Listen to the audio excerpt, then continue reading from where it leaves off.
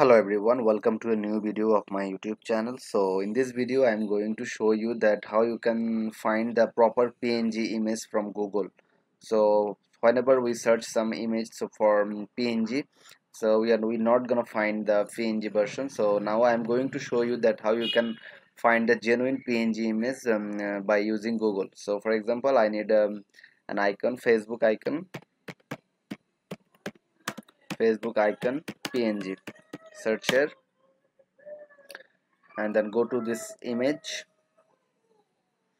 Okay here is a there is a lot of icons so whether we, we, we can't be so sure about which one is png and which one is not. So for finding the png one you have to go to the uh, click on this option called tools then click on color and then you have to click on this transparent option so as you can see these are all the png image so these are all the png image so how you how you will recognize that it is png or not. So whenever you open an icon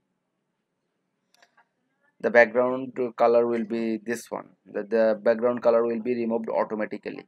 So this is the this is the genuine png image.